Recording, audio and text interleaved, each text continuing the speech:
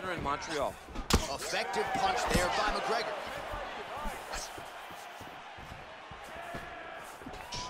And he caught the kick.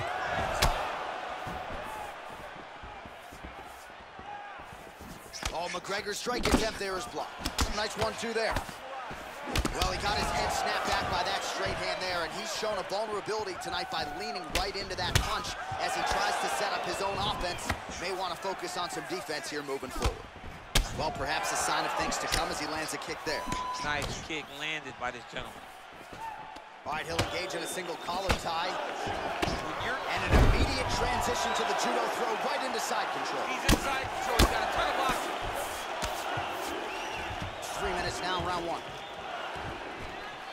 Pretty good work with the ground and pound here by Oliveira. Oh, and that one snapped the head back. The referee has seen enough. Winner by TKO.